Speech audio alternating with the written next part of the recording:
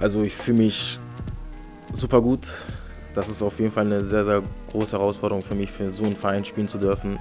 Mit einem unglaublichen Trainer.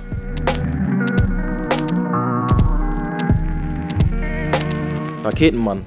Ja, ich finde, das passt schon zu mir. Bin ein schneller Spieler, mag das auch eins gegen eins zu gehen, mit Tempo. Und deswegen habe ich den Namen dort noch in Hamburg bekommen.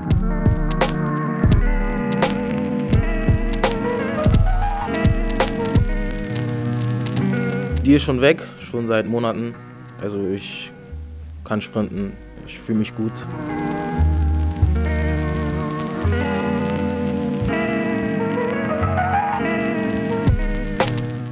Erstmal für so einen Verein kontaktiert zu werden, ist für mich, war für mich was sehr, sehr Großes. Ich habe nicht lange überlegt und ich wusste, okay, ich will den Schritt machen.